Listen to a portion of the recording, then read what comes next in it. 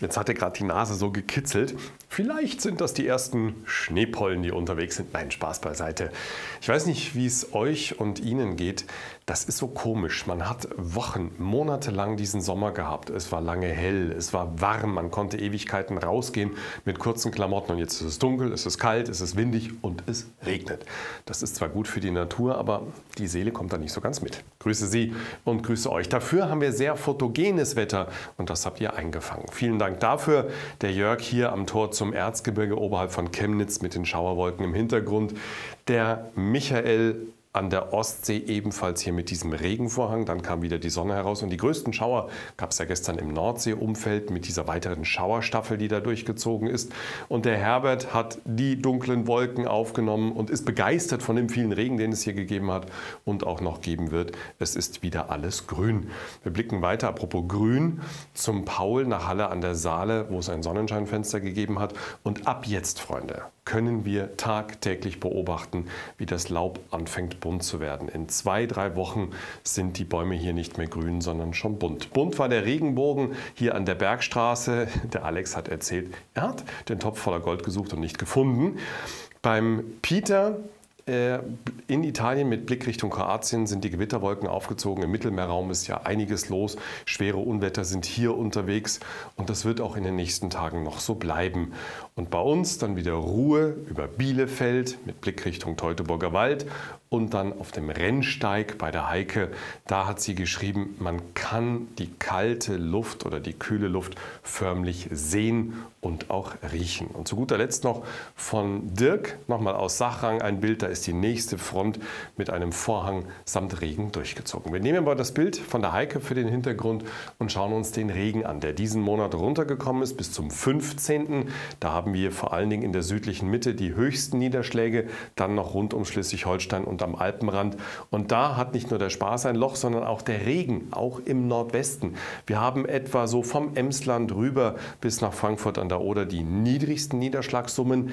Das hat sich allerdings geändert. Schauen wir uns gleich an. Zunächst noch mal der Blick in die Böden. Wir haben uns gestern hauptsächlich mit der Mitte beschäftigt und wollen uns jetzt mal mit den Gegenden beschäftigen, die eher nass davon gekommen sind, wie hier im Norden, Lingen-Backum.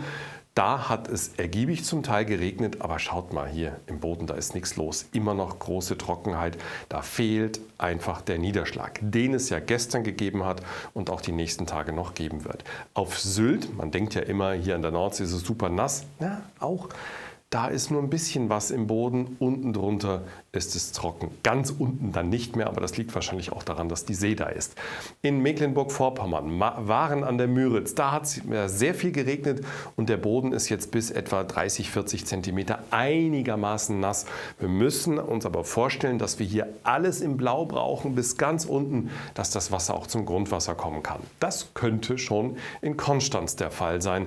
Da ist es nämlich nass, der Boden ist hier durchnässt und das Wasser, das hier runterkommt, kann eben ganz, ganz, ganz langsam heruntersickern. Das dauert zwar Monate, aber immerhin ist die Grundlage hier gelegt.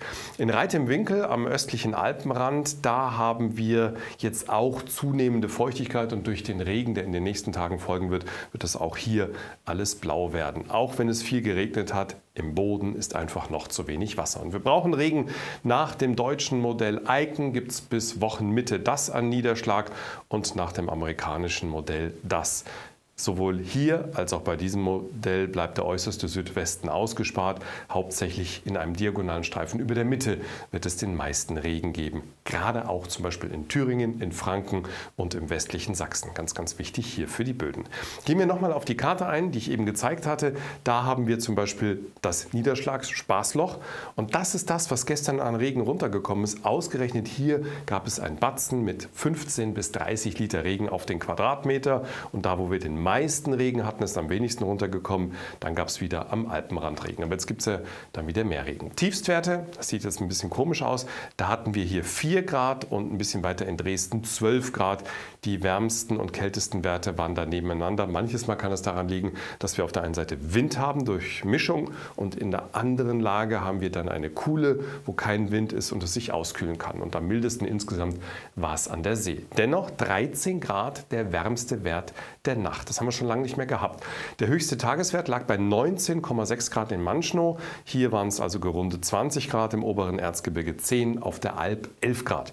An die Temperaturen sollten wir uns jetzt gewöhnen. Die Temperaturkurve des Septembers schwang noch weit oben und geht jetzt nach unten und wird ein paar Tage unten bleiben. Und im Vergleich zum früheren langjährigen Mittel liegen wir bei plus 0,5 bis plus 0,7, halten also die berühmt-berüchtigte 2-Grad-Regel ein. Das ist ja das alte Klimamittel. Nehmen wir mal das neue Klimamittel, das ein bisschen höher ist, ist nicht so stark ausgeprägt im September. Da wären wir Pi mal Daumen genau im Schnitt mit den Temperaturen, wenn sie bis Monatsende nach der Vorhersage so kommen. So sieht die Wetterlage aus. Dieses riesige Tiefdrucksystem hier über Nordeuropa hat sich eben bis in den östlichen Mittelmeerraum ausgebreitet. Übrigens, die ehemaligen Hurricanes, die ja auf Europa zusteuern sollten, also die außertropischen Tiefs, die haben gar nichts gemacht. Wir haben unser Wetter selbst gemacht mit hochreichender Kaltluft, die jetzt auf das sehr warme Mittelmeer trifft und hier zum Beispiel die Unwetter auslöst. Die Temperaturen in 1500 Meter Höhe gehen deutlich zurück. 0 Grad Batzen ziehen dadurch. 0 Grad, großer Aber, im Bayerischen Wald, knapp 1500 Meter hoch, da sind es um die 0 Grad, da kommt dann eben Schnee runter. Dann am Mittwoch der kommenden Woche verlagert sich der Trog unter leichter Abschwächung ostwärts. Das Hoch rückt nach, wir sind aber in 1500 Meter Höhe immer noch mitten in der kalten Luft drin. Da erwärmt sich nichts großartig, es wird nur freundlicher, die Nächte werden kälter. Und in einer Woche haben wir dann immer noch diese Kaltluftschüssel hier über Osteuropa, bei uns ein Zwischenhoch und dann kommt wieder ein Hoch nachgerückt und wahrscheinlich kommt von Nordwesten ein erneuter Knick mit Tiefdruck, erst einmal mit Wolkenfeldern und im weiteren Verlauf dann wieder mit Regen. Die Temperaturen kommen nicht mehr so richtig in die Puschen. Im Südwesten und in der Schweiz sind es um und etwas über 5 Grad in 1500 Meter Höhe. Sonst bleibt es kühl. Der Sommer ist und bleibt passé. Das ist auch kein richtiges Altweiber-Sommerflair. Dazu fehlt einfach die Wärme und auch die trockene Luft. Es ist ja sehr nass und so geht es auch heute weiter mit vielen Schauern, die im Nordwesten aufziehen. Dieses Regengebiet, das gestern noch im Norden war, liegt jetzt dann mehr und mehr über Bayern, zieht Richtung Alpen, Schneefallgrenze auf 1300 Meter Höhe herab sinkend. Am Nachmittag sinkt die Schneefallgrenze sogar noch weiter, inneralpin auf 1000 bis 1300 Meter Höhe am Alpen-Nordrand und wie abgeschnitten mit dem Lineal. Wer zum Beispiel über den Jaufenpass fährt oder über den Brenner, der hat auf der einen Seite Schneefall und auf der anderen Seite Sonnenschein. Südtirol beispielsweise, Gardasee, das ist richtig schön. Einigermaßen nett ist es auch im Westen und im Nordosten. Sonst entstehen immer wieder Schauer und zum Teil auch kräftige Gewitter rund um das nördliche Niedersachsen und Schleswig-Holstein. Der Wind weht stark bis stürmisch aus West bis Nordwest und die Temperaturen erreichen 11 bis 17 Grad nur noch. Wir mussten mit den Temperaturen runtergehen. 6 bis 10 Grad sind es im Regen und gefühlt 1 bis 10 Grad auf der Haut. Volle Lotte Herbst ist das. Das geht fast nicht tiefer mit Wind. Ohne Wind wird es natürlich noch tiefer gehen, aber das ist wieder ein anderes Thema. Der morgige Sonntag beginnt in einem breiten Streifen von den Niederlanden bis nach Niederösterreich mit Regen. Nordöstlich davon sind einzelne Schauer unterwegs. Alpen, Schneefallgrenze 1200 Meter Höhe. Im Laufe des Tages steigt die Schneefallgrenze ein bisschen an. Rund um die Schweiz bis zum Kaiserstuhl, zur Alp und auch ins Westallgäu rein bis ins Oberallgäu. Da zeigt sich die Sonne. Östlich davon dann Regenschauer, später ein Regengebiet von Salzburg und Oberösterreich wieder rüber in die Mittelgebirge. Im Norden auch ein Streifen mit Sonnenschein, dahinter wieder Gewitter. Starker bis stürmischer Wind, sehr unangenehm.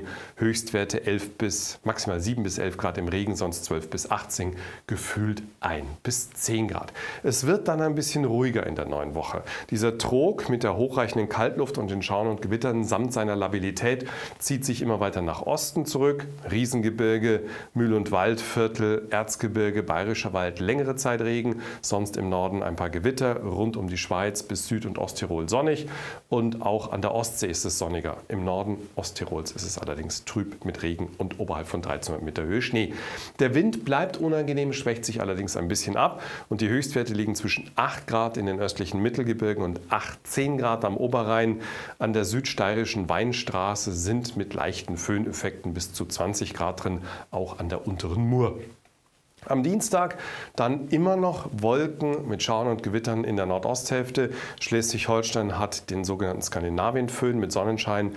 Im Süden ist es auch freundlicher. Der Wind schwächt sich ab, ist aber noch spürbar bei grob 10 bis 18 Grad. Die Nächte sind fast durchgehend einstellig, teils mit Bodenfrostgefahr, wenn sich der Wind legt. Wir werden grobmaschiger. Am Mittwoch sind dann von Berlin, Brandenburg über Sachsen, Tschechien bis in den Osten Österreichs ein paar Schauer und Gewitter dabei. Sonst scheint öfter die Sonne. Dann am Donnerstag im Südwesten sonnig, im Nordosten wolkig, letzte Schauer. Hier 9 bis 15, sonst 15 bis 20 Grad. Am Freitag in der Westhälfte hohe Wolkenfelder, die aufziehen. Sonne scheint milchig matt hindurch. Im Osten noch viele Quellwolken mit letzten Schauern. Auch das Temperaturgefälle 10 bis 20 Grad. Und am Samstag, da schaut es gut aus. Einzelne Schauer im Nordosten, sonst Sonnenschein und hohe Wolkenfelder. Das hat so einen leichten Touch von Altweiber-Sommerwetter bei 14 bis 21 Grad. Und am Sonntag werden wohl die Wolken wieder dominieren mit einzelnen Schauern im Osten bei 10 bis 20 Grad. Schauen wir ganz kurz noch auf die Niederschlagssummen für die kommenden zwei Wochen und zwar im großen Ausschnitt für zwei Modellläufe. Einmal der sogenannte amerikanische GFS-Lauf von gestern Abend. Hier haben wir Deutschland, die Benelux-Länder, Frankreich, die Schweiz, Österreich, Italien. Und schaut mal dieser Streifen hier von Portugal über Spanien, die Balearen, den nördlichen Mittelmeerraum bis zum Balkan rein. Da werden zum Teil enorme Niederschlagssummen berechnet von Frankreich bis zu den britischen Inseln weniger. Das ist der eine Lauf. Der andere Lauf zeigt auch hier die wenigen Niederschläge rund um Spanien, die meisten. Dann sind da Gewitter berechnet, vor allen Dingen Süditalien, Balkan bis etwa nach Kreta rüber und auch in den Alpen. Das wird immer so ein bisschen hin und her gehen. Auf jeden Fall wird es hier nicht ruhig in der nächsten Zeit weitergehen. Und zu guter Letzt, und dann mache ich den Verschwindinger, das Ensemble für die Mitte Deutschlands. Die rote Linie ist das Mittel der Luftmassentemperatur aus 30 Jahren in 1500 Meter Höhe. Die weiße Linie das Mittel aller Modellberechnungen, die wir in Bund finden. Wohlgemerkt, das amerikanische Modell lässt hier noch immer mal wieder Regen kommen. Dann geht es relativ trocken weiter. Ende September wenige Niederschlagssignale. Die Temperaturen kommen aus dem Tal heraus und pendeln dann ums langjährige Mittel mit den obligatorischen Ausreißern nach oben und nach unten. Das europäische ECMWF-Modell lässt die Niederschläge längere Zeit laufen, macht kaum Niederschlagspause, hinten dann wieder Wechselhaftigkeit mit neuen Regenfällen, die Temperaturen erst niedrig, dann durchschnittlich bis leicht überdurchschnittlich, ebenfalls mit einem großen Range. Es wird so, wie es aussieht, Mitte und um die Mitte der kommenden Woche mal ein paar trockene Tage geben, aber nur da. Bis später.